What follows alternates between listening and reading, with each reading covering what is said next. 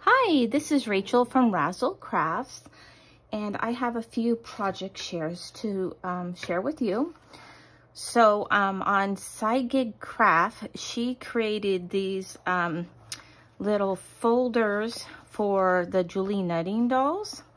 So um, I have created one. I need to make a few more. Uh, what I used was um, like a cereal box that I covered. Feel this. Yeah, that's what I used. Or a cracker box, something like that. Um, so what it is, is here you have your stamps. And then you can put your extras behind here. And then here is the,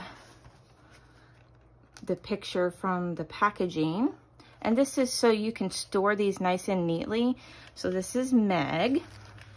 And then you can put the clothing or little extra bits that you've made in here. I don't have any currently, um, but I know I did. I think I lost a bunch of them because I didn't have something to put them in and they were floating around. So anyways, I am super excited about this. Loved how it turned out. So I definitely, oh, and I need to make a name for the side right here.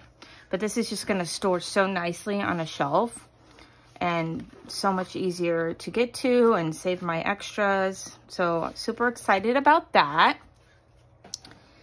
And then, um, so those mystery dies that I received um, off of AliExpress, um, I, I went ahead and put the link in the description box on that video if you want to check it out. Um, so with the, that one, with, um, I can't speak, I'm so sorry. With one of those dies was this elephant right here. And I also made a purchase from Kokorosa. And I got this kind of, it looks kind of like a scallop, like a stamp, I think. But so it has scalp edge and then each each um, size, it's, um, you know, a nesting die has um, this centerpiece. So I did the same color as the gray elephant and I used this pretty blue stripe. And uh, I also got these balloons from Kokorosa and it just works perfectly with the little elephant. This is a baby shower gift. Um, one of my families had a little boy. And um, I also used these beautiful flowers that were sent to me.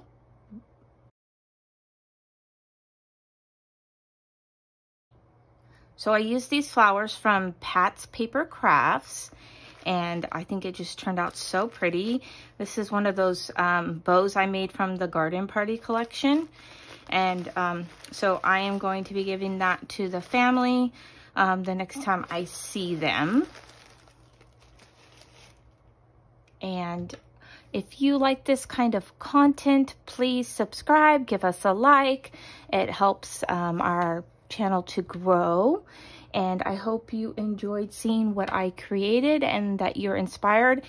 I will go ahead and find the link for Sidegig Crafts um, Julie Nutting portfolio uh, so that you, if you're interested in creating one, they're really awesome. It only took me um, a few hours, I think, to make it, maybe less. Um, kind of, you know, back and forth kind of a thing. so anyways, um, yeah, it, it meant not even took me that long. I, I didn't really time it, but so anywho, thank you for watching. Have a blessed day and I will see you in the next crafty video. Bye.